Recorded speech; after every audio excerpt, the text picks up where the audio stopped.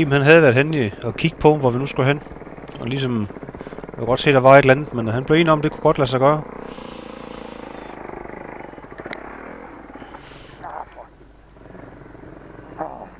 Men øh, vi skuffede ham fælt, og Jørgen han øh, er kørt af sporet lidt længere fremme. Så vi får lige en øh, personlig assistance her.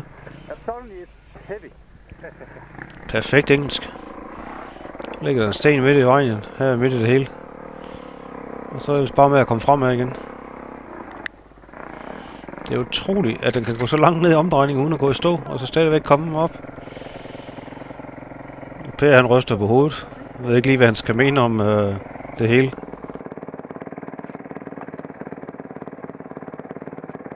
Så har vi fundet dansk øh, nåleskov. Det er jo næsten helt hjemligt, det her. Men øh, 1, 2, 3, så øh, ændrer det sig lynhurtigt til noget, vi ikke er vant til. Så har vi en gedestige her. Hvis man vælter her, og man vælter indad, så øh, går der ikke lang tid før man øh, slår sig en lille bitte smule. Hvis man vælter ud af, så går der lidt længere tid, så slår man sig rigtig meget.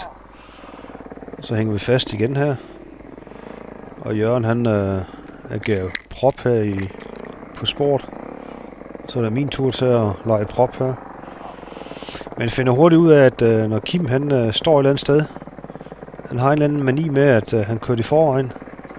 Og så så var en, en svær passage, så, øh, så stod han og ventede der. Så når man så ham stå uden motorcykel, så var man godt klar over, så var der et eller andet, øh, der var lidt ud over det sædvanlige. Så kommer Mogens her i øh, fuld vi gør.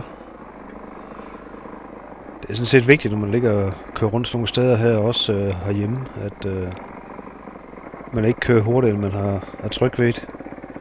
Så kan det sgu godt være, at det ikke er så smart, at man ligger og hælder lidt bagefter. Men hælder det, ind og kører over evner, så komme galt afsted. Ja, der er vist også kommet lidt på overvej. Øh, det var et af de steder, hvor vi var nede at vinde. Og så er det bare tilbage opad her. Der har været en, øh, en vej engang, men øh, den er stort set forsvundet efterhånden. Ja, det var jo fuld pension, vi havde, så om morgenen der fik vi noget morgenmad på hotellet.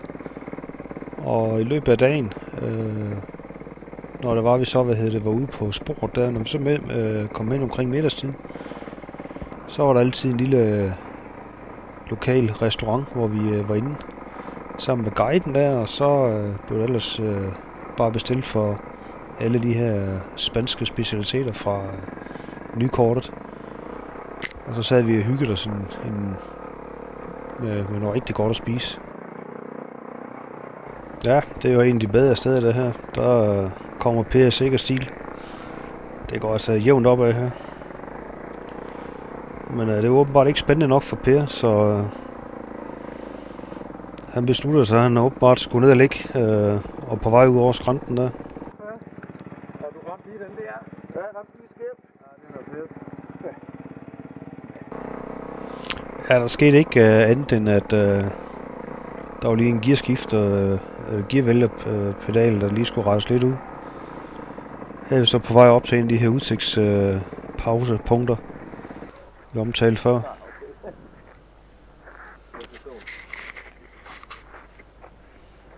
Det er jo simpelthen storslået. Og så sådan en lille kors her midt i det hele. Se, det her det er jo noget, øh, der minder lidt om det danske, så der er tempoet der også sådan pænt i top.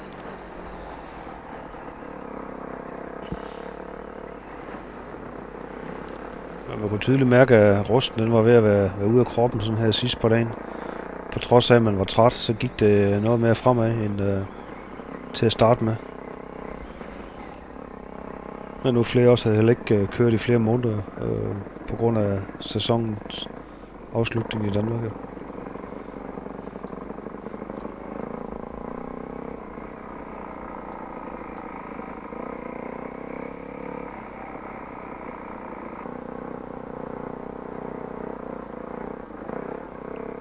Så altså, rigtig mange steder, hvor vi havde de her rigtig lange og seje opkørsler. Den her, den blev bare ved og ved og ved. Og der er simpelthen kun én ting, det er bare at holde på. Øh, og så sørge for at komme godt fremad over styret, så man ikke øh, hænger i armene, for ellers så falder armen simpelthen af, inden du kommer til tops. Så skal vi lige have en øh, nedkørsel mere her med store sten. Eller store og store. Jeg, jeg synes nu, de er store. Det tror jeg aldrig nogensinde, jeg vender mig sådan 100% til at blive helt 100 tryg ved. Altså det der forhjul, det rasler jo simpelthen rundt og hopper og danser og gør ved.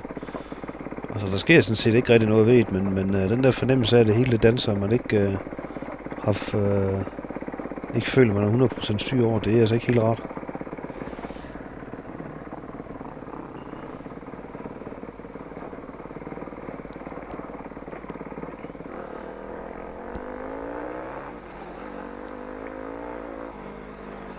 Så er vi ved at være hjemme af. Og så en eller anden baghave her, vi åbenbart skulle igennem hver dag. Øh, vi kom forbi her hver eneste dag, som noget af det aller sidste. Lige oppe i, i baghaven her. Det ved ikke, øh, den var nok ikke gået herhjemme. Og lige hvad der sker, det ved jeg ikke der, men øh, der er forhjul ved at smutte en gang.